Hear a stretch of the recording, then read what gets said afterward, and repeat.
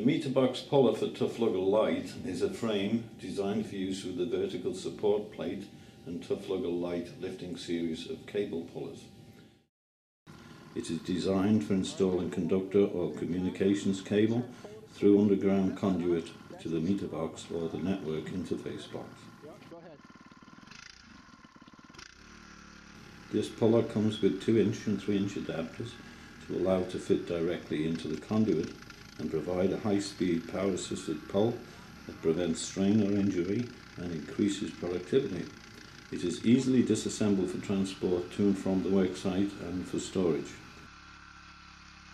Its durable construction also makes it strong enough to withstand pulls over 2,000 pounds and can be used by a single operator.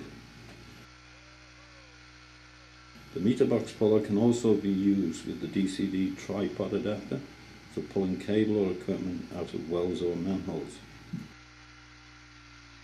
For more information, contact DCD or visit our website at www.dcddesign.com.